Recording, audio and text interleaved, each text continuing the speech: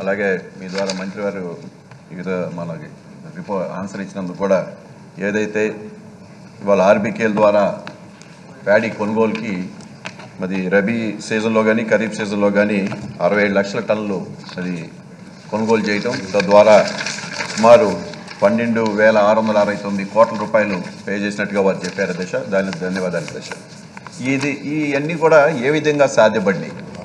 ఆ దశ ఈరోజు రాష్ట్రంలో రైతు భరోసా కేంద్రాలు ఏర్పాటు చేసే విషయంలో. నిజంగా దేశ వ్యవసాయ రంగంలో కూడా మౌలిక సదుపాయాలు కల్పించిన ఘనత మన ప్రభుత్వానికి గౌరవ ముఖ్యమంత్రి జగన్మోహన్ రెడ్డి గారి దేశ ఈరోజు రైతు భరోసా కేంద్రాలు ఇంటర్నేషనల్గా కూడా మనకి గుర్తింపు వచ్చింది ఆ దిశ ఆంధ్ర రాష్ట్రానికి.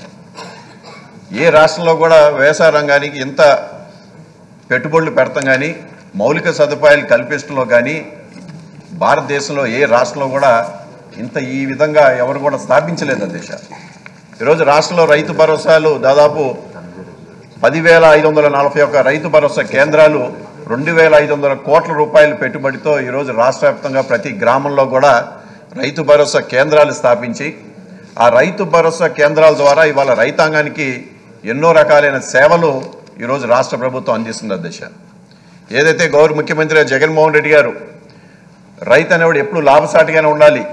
రైతు అనేవాడు ఎప్పుడు కూడా నష్టం చవి చూడకూడదనే ఉద్దేశంతో వాళ్ళ పలు నిర్ణయాలు తీసుకోవడం రైతాంగానికి పెద్ద ఎత్తున చేయుతనివ్వడం కూడా మనం ఈరోజు రాష్ట్రంలో ప్రతి రైతు కూడా చూడటం మనం చూసామని దేశ. మరి ఈరోజు రైతు భరోసా కేంద్రాల ద్వారా ప్రతి రైతు తన పంట ఏది వేశాడో ఈ క్రాపింగ్ బుకింగ్ ద్వారా మరి ఆ పంట నమోదు చేసుకోవడం ద్వారా తనకు పూర్తి సంరక్షణ పూర్తి బాధ్యత ప్రభుత్వం తీసుకుంటా ఉంది. తను ఏ పంట వేశాడు ఎన్ని ఎకరాలు వేశాడు తను పూర్తిగా ఒక ఎన్యూమరేషన్ చేయడానికి ఒక అవకాశం. అదేవిధంగా ప్రకృతి వైపరీత్యాల ద్వారా వచ్చే నష్టాలు కానీ లేకపోతే ఇన్పుట్ సబ్సిడీలు కానీ లేకపోతే సున్నా వడ్డీలు కానీ ఏదైనా సరే రైతుకి ఇవ్వడానికి ఒక సిస్టమేటిక్ అప్రోచ్ ఈ ప్రభుత్వం రైతు భరోసా కేంద్రం ద్వారా కల్పించిందనేది కూడా ఇవాళ ప్రతి ఒక్క రైతు కూడా గుర్తించడం జరిగింది అధ్యక్ష ఈరోజు మనం చూసిన అధ్యక్ష ఇవాళ రైతు భరోసా కేంద్రాల ద్వారా. ఆ గ్రామంలో ఉన్న రైతులందరూ కూడా వాళ్ళకి కావాల్సిన నాణ్యమైన విత్తనాలు కానీ పురుగు మందులు కానీ రైతు ప్రతి రైతు భరోసాలో ఒక కేంద్రాల ద్వారా ఒక కియోస్క్ ఏర్పాటు చేయడం జరిగింది. ఆ కియోస్క్ ద్వారా తనకు కావాల్సిన విత్తనాలు కానీ పురుగు మందులు కానీ ఎరువులు కానీ అక్కడే బుక్ చేసుకుంటే ప్రభుత్వం సర్టిఫై చేసిన విత్తనాలు పురుగు మందులు కూడా నేరుగా మరి రైతాంగానికి అక్కడ అందించడం జరుగుతుంది. ఎక్కడ కూడా రైతు అనేవాడు బజార్కి వెళ్ళి నకిలీలు బారి పడకుండా ఒక నాణ్యమైన మరి విత్తనాలు పురుగు మందులు మరి లభించే విధంగా రైతు భరోసా కేంద్రాలు ఈరోజు సేవలు అందిస్తూ ఉన్నాయి దశ నిజంగా రైతు భరోసా కేంద్రాల ద్వారా ఇవాళ మన రాష్ట్రంలో గుర్తింపు ఏంటంటే మా నియోజకవర్గంలో కూడా నంబూరు రైతు భరోసా కేంద్రంలో ఏటీఎం మిషన్ కూడా అక్కడ స్థాపించడం జరిగింది. నాబార్డ్ చైర్మన్ గారు వచ్చి ఆ స్థా- ఆ ఒక ఏటీఎం మిషన్ అంటే రైతుకి ఆ రైతు భరోసా కేంద్రాల్లో అన్ని సేవలు అందించే విధంగా అక్కడ పురుగు విత్తనాలు పురుగు మందులు ఇవే కాకుండా తనకు కావాల్సిన కనీసం బుకింగ్ చేసుకోవడానికి కావాల్సిన రూపాయలు తీసుకోవాలన్నా ఏటీఎం మిషన్ కూడా రైతు భరోసా కేంద్రంలోనే ఏర్పాటు చేయడం అధ్యక్ష చూడండి సార్ అంటే ఒక రైతుకి కావాల్సిన అన్ని సదుపాయాలు మౌలిక సదుపాయాలన్నీ కూడా రైతు భరోసా కేంద్రం ద్వారా పొందుతా ఉన్నాం. ఈరోజు అధ్యక్ష మన ప్రభుత్వం ఏదైతే రైతుకి రైతు లేనిదే మానవాళి లేదు ఇవాళ మూడు పూట్ల మనం తినగలుగుతున్నామంటే రైతు పండిస్తేనే ఈరోజు మనం తినగలుగుతున్నాం. కానీ అలాంటి రైతు మీద శ్రద్ధ గత ప్రభుత్వాలు చాలా నిర్లక్ష్యం చేసిన దిశ మనం చూసాం గత ప్రభుత్వంలో ఏదైతే తొమ్మిది వందల అరవై కోట్ల రూపాయలు ప్యాడీ రైతులకి మరి వాళ్ళు బకాయిలు పెట్టి వెళ్ళారు దశ. తొమ్మిది వందల అరవై కోట్ల రూపాయలు. అదేవిధంగా ఇత్తనాలు కూడా బాకీ పెట్టారు. ఎంత ఇదంటే కేవలం మూడు వందల ఎనభై నాలుగు కోట్ల రూపాయలు రైతులకు చెల్లించిన ఇత్తనాల కింద చెల్లించాల్సిన రూపాయ మూడు వందల ఎనభై కోట్లు కూడా బాకీ పెట్టి వెళ్ళారు దశ. అంటే ఒక వెయ్యి మూడు వందల నలభై నాలుగు కోట్ల రూపాయలు రైతాంగం మీద వాళ్ళకి బాకీ పెట్టారంటే వాళ్ళకి రైతుల పట్ల ఎంత శ్రద్ధ ఉందో మనం అర్థం చేసుకోవచ్చు దశ రై వ్యవసాయమే దండగని చెప్పారు అధ్యక్ష వాళ్ళ గతంలో. అంటే వాళ్ళకి రైతుల మీద ఆ రోజు అలా డాక్టర్ రాజశేఖర రెడ్డి గారు ఏదైతే రైతాంగం కోసం ఉచిత విద్యుత్ ఇద్దామని చెప్పి అంటే ఆ తీగల మీద బట్టలు ఆరేసుకోవాలని చెప్పిన పార్టీ తెలుగుదేశం పార్టీ అధ్యక్ష. అంటే వాళ్ళు ఏ స్థాయిలో రైతుల మీద శ్రద్ధ పెట్టారో మనం చూసాం ఇవాళ ముఖ్యమంత్రి జగన్మోహన్ రెడ్డి గారు వచ్చినాక. ఒక ఏదైతే రైతాంగం కోసం వాళ్ళకి ఆ ఉచిత విద్యుత్ పగటిపూట అంత గతంలో రాత్రిపూట ఇచ్చారు దశ.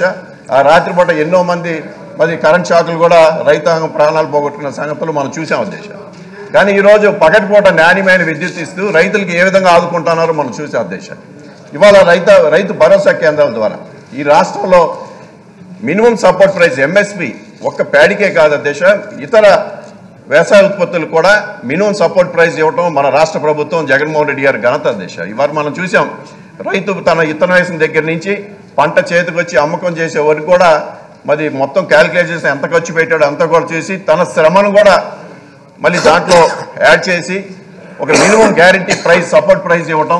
మార్కెట్ ధర కన్నా ఎంఎస్పి ప్రైస్ తక్కువ ఉంటే వెంటనే మరి ప్రభుత్వమే ఎంటర్ అయ్యి కొనుగోలు చేసి ఆ రైతును ఆదుకొని నేరుగా వాళ్ళకి పేమెంట్ చేస్తా ఉన్న దేశ. గతంలో ఎప్పుడు చేశారు దేశ వీళ్ళు? రైతుల మీద స్టేట్మెంట్లు ఇచ్చారు తప్ప రైతుల మీద శ్రద్ధ ఏ రోజు పెట్టారు? ఇవాళ ముఖ్యమంత్రి గారు జగన్మోహన్ రెడ్డి గారు ఏ విధంగా రైతాంగంకి తనకు కావాల్సిన ప్రతి సదుపాయాలు ఈ రోజు కల్పిస్తా ఉన్నారు. ఇంకా విషయం చెప్పేస్తే గతంలో ప్రకృతి వైపరీత్యాల నష్టం జరుగుతున్నప్పుడు రైతులకి గత ప్రభుత్వం వాళ్ళు పూర్తిగా రైతులకి ఎక్కడ కూడా నష్టపరిహారం చెల్లించేవాళ్ళు కాదు మనం మనం ఉంటాం మా నియోజకవర్గంలో రైతులు నష్టపోయిన రైతులకి ఎంఆర్ ఆఫీసులో కూర్చొని గత ఎమ్మెల్యేలు కూడా వాళ్ళకి కావాల్సిన మనుషులకే పరిహారం అందించేవాళ్ళు. కానీ ఈరోజు ప్రతి రైతు ఎవరైనా సరే ఈ క్రాప్ బుకింగ్ చేసుకుంటే ప్రతి రైతుకి అక్కడ కులం లేదు మతం లేదు పార్టీ లేదు అందరు కూడా నేరుగా కాంపన్సేషన్ ఇవ్వాలి. వాళ్ళ ఖాతాలో మూడు నెలల లోపల జరుగుతూ ఉంది. గతంలో ఆ విధంగా చెల్లించారా వీళ్ళు? చెల్లించలేదు దేశ. సో ప్రభుత్వం కట్టుబాటుగా ఉంది. ఏదైతే రైతు అనేవాళ్ళు లాభసాటికైనా ఉండాలి రైతుకి ఏ విధంగా మనం మంచి చేయాలి రైతు ఎప్పుడు కూడా లాభంలో ఉంటే తను సంతోషంగా ఉంటాడు. ఎందుకంటే ఈ- రాష్ట్రంలో దాదాపు అరవై నుంచి అరవై శాతం వ్యవసాయం వ్యవసాయ ఆధారిత మీద కుటుంబాలు ఉన్నాయి దశ సో రైతు భరోసా కేంద్రాలు ఈరోజు దేశవ్యాప్తంగా మరి బ్రహ్మాండంగా మన రాష్ట్ర వ్యాప్తంగా బ్రహ్మాండంగా పనిచేస్తూ ఉన్నాయి. ఐదు వంద పదివేల ఐదు వందల నలభై ఒక్క రైతు భరోసా కేంద్రాలు. మరి ఇవాళ ఈ రాష్ట్రంలో ఏర్పాటు చేసిన ఈ ఒక రైతు భరోసా కేంద్రాల్ని ఇతర రాష్ట్రాలు కూడా వచ్చి చూసి వాళ్ళు కూడా ఇది బ్రహ్మాండంగా మెచ్చుకొని పక్కనున్న ఒరిస్సా రాష్ట్రంలో వాళ్ళు మరి వెంటనే రైతు భరోసా కేంద్రాలు మొదలు పెడతా ఉన్నారు దశ అంటే ఈ విధంగా రైతులకి ఈ ప్రభుత్వం చేస్తున్న మంచి నిజంగా ఈ దేశంలో ఏ ప్రభుత్వం కూడా చేయదు దశ దాదాపు అరవై ఎనిమిది వేల కోట్ల రూపాయలు పైగా ఇవాళ రైతు భరోసా కేంద్రాల ద్వారా రైతులకి మంచి జరుగుతుంది దశ ఈ రాష్ట్రంలో ఈ మూడు సంవత్సరాలు అరవై ఎనిమిది వేల కోట్ల రూపాయలు పైగా మరి చెల్లింపులు చేశారంటే రైతు భరోసా. స్కీముల ద్వారా ఇరవై మూడు వేల కోట్లు అలాగే మిగతా అన్ని ఇన్పుట్ సబ్సిడీలు కానీ ఇవన్నీ కూడా అరవై ఎనిమిది వేల కోట్లు చెల్లించారు దశ. రైతు భరోసా కేంద్రాల ద్వారా రైతులందరూ కూడా సంతోషంగా ఉన్నారు.